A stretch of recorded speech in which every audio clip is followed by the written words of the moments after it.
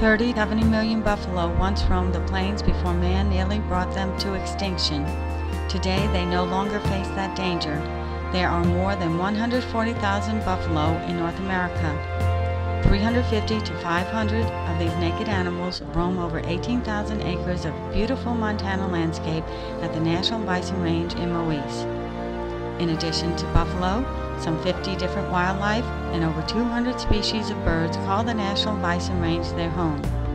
One of the prettiest times to visit is in late May and early summer.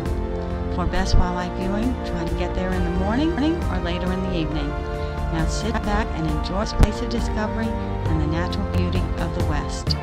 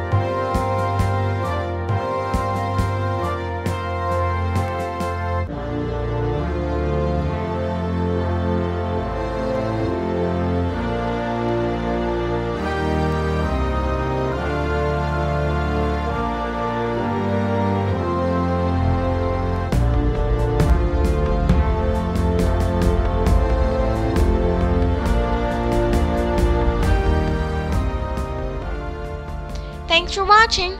Please subscribe to our channel and post your comments below.